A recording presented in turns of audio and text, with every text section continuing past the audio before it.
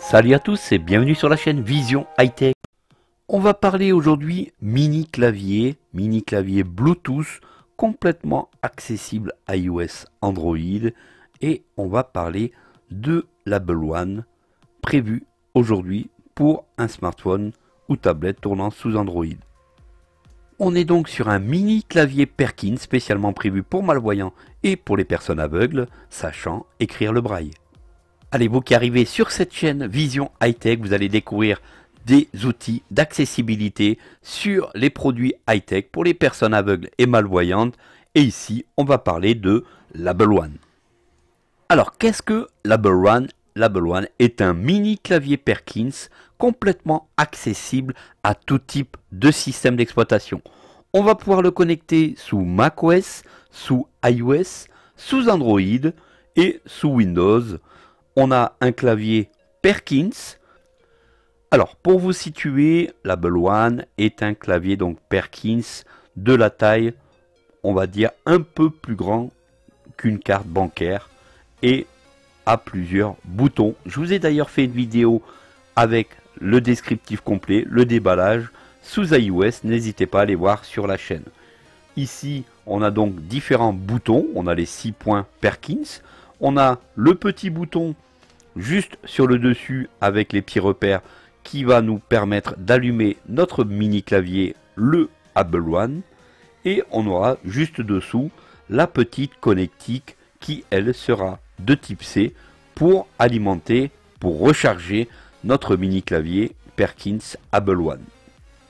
Sur le dessus du clavier, on va donc retrouver les touches plus deux petites barres lisses qui vont nous permettre d'exécuter des raccourcis qui vont nous permettre de faire la gestuelle que l'on fait normalement sur un smartphone ou sur une tablette sur Android. Alors, la tenue de ce clavier sera de mettre en fait les touches Perkins à l'opposé de notre corps. La touche de marche arrêt se retrouvera sur le haut, c'est-à-dire face au plafond, et la connectique se retrouvera face au sol. Alors certaines personnes vont être un peu gênées par rapport à cette saisie, mais une fois qu'on a pris l'habitude, l'Able One peut être un très bon compromis car aucun besoin de sortir notre smartphone une fois que l'on possède l'Able One dans notre poche. L'utilisation de l'Able One reste très simple si vous êtes une personne aveugle ou malvoyante qui utilise déjà le braille, vous ne serez pas perdu car l'accessibilité est totale. Volet des notifications, 17h51, lundi 20 juin. Activé, non connecté, Bluetooth, bouton, Appareil connecté. Parcourir vers le haut. Bouton hors de la liste. Associer un appareil dans la liste. Associer un appareil. Parcourir vers le haut. Bouton hors de la liste. Able One.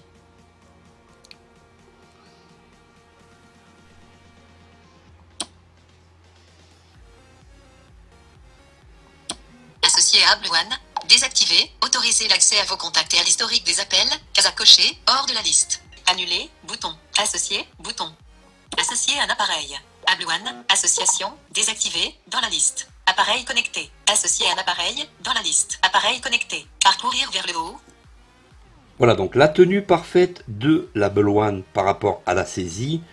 Il faudra que vous maintenez donc la connectique de type USB-C vers le bas le clavier Perkins sera à l'opposé de votre corps et donc le bouton de fonctionnement de marche arrêt sera donc vers le ciel, vers le plafond.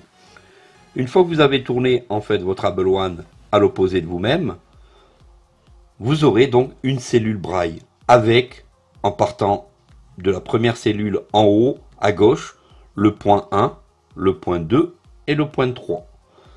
On aura ensuite le point 4, le point 5 le point 6.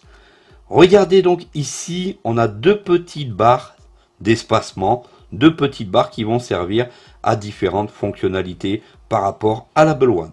Alors par exemple, si je veux avancer dans mon sur les applications ou dans les listes de mon téléphone, je vais tout simplement appuyer et garder enfoncé la première barre à la gauche de la cellule et tapoter celle de droite. Autres appareils, type One. Associer un appareil. Appareils enregistrés sous Core Frames. Paramètres. Bluetooth affiché. Préférences de connexion. Bluetooth. Android Auto. Mode voiture. NFC. Alors ici, ce qui est appréciable, c'est que si je veux revenir à l'écran d'accueil, donc Home, je vais faire un H. Pour faire le H et le bouton Home, en fait, je vais appuyer sur le point 1, 2, 5, et je vais les garder enfoncés une petite, un peu moins d'une petite seconde. Accueil. Lundi 20 juin, hors de la liste. On ressent donc une vibration et instantanément, comme vous avez pu entendre, mon téléphone revient directement sur l'écran d'accueil.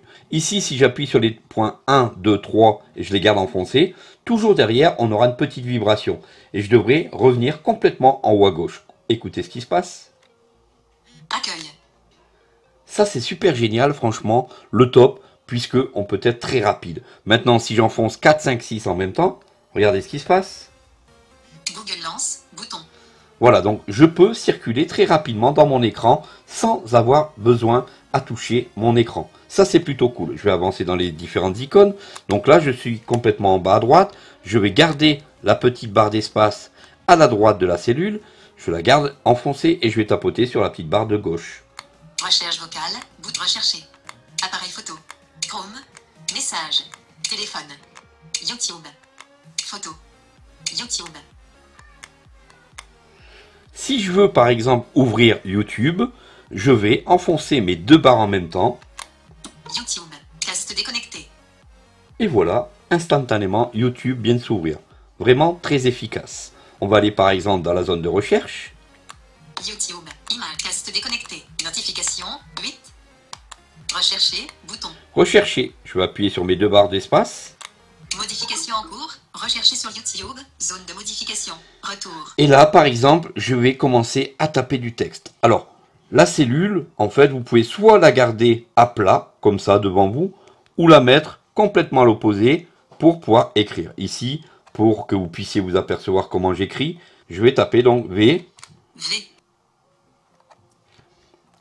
Si je me suis trompé dans, par exemple, une lettre, je vais tout simplement appuyer sur la barre de gauche qui va être Backspace.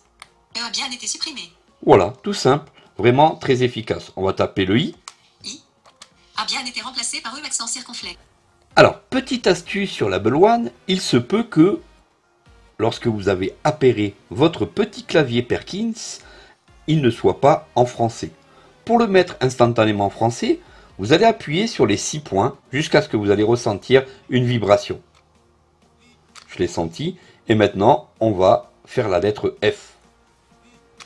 Et normalement, le clavier devrait se mettre automatiquement en français. Et dans ces conditions, vous aurez donc mis votre clavier Perkins correctement en français. Par exemple, ici, je vais taper le Q. Q. A. B. C. D. Voilà, on a bien mis notre clavier en français.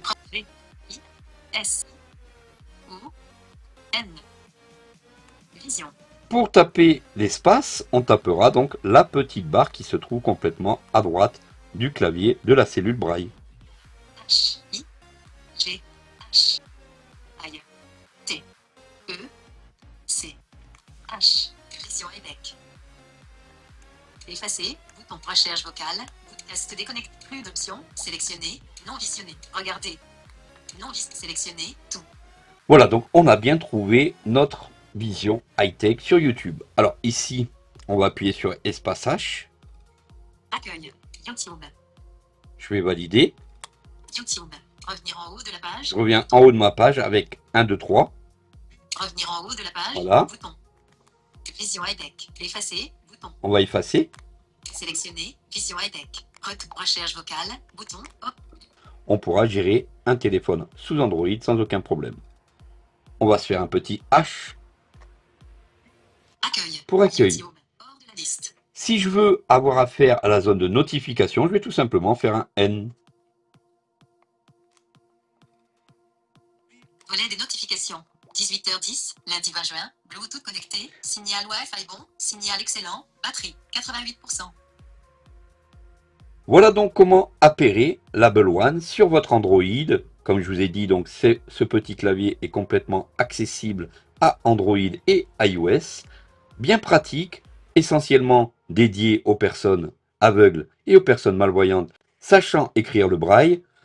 L'Able One est vraiment un appareil idéal pour être rapide sur son écran, pour déverrouiller son iPhone ou son Android sans avoir besoin de sortir son smartphone dans la rue ou éventuellement si vous êtes en transport en commun.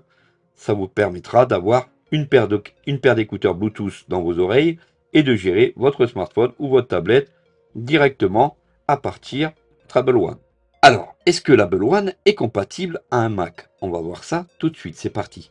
Alors, vous n'êtes pas très fort avec le clavier AZERTY et vous êtes plus à l'aise avec le clavier Perkins.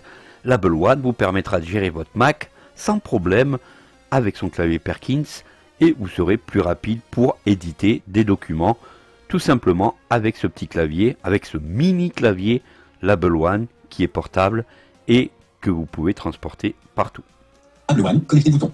Alors, voici notre Able One sur Mac. Able One, connecté bouton. Able One, Able One, chouchou Able One, connecté bouton. Able One, connecté bouton. Able One, mot. Emplacement des fenêtres. Débit 85%.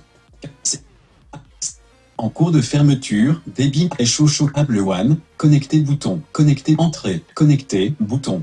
C'est parti. Vous êtes actuel. C'est parti. Tableau. Allez, on teste. Tableau, tableau connecté, bouton, application, fenêtre. Quitter, On voit que l'assistant du clavier, on voit donc que la, on voit donc que la boîte de dialogue de l'assistant clavier vient de s'ouvrir dans le Mac. C'est pour nous stipuler qu'on vient de connecter un nouveau clavier, dont l'Able One. continuer, bout quitter, bout continuer, bouton. Voilà donc pour cette compatibilité d'un mini clavier Perkins l'Able One sur Android, sur iOS, sur macOS. Il est vraiment compatible avec toutes les plateformes, ce mini clavier pour personnes aveugles et malvoyantes. Alors surtout n'hésitez pas à vous abonner à la chaîne. Si vous aimez la chaîne Vision High Tech et vous voulez l'encourager sur YouTube, mettez un petit j'aime, mettez un petit commentaire, c'est ce qui fait évoluer la chaîne au niveau de l'algorithme de YouTube. Allez, je vous dis à très vite pour de prochaines aventures accessibles à tous. C'était sur Vision High Tech. Prenez soin de vous et à très vite pour une prochaine. Salut à tous.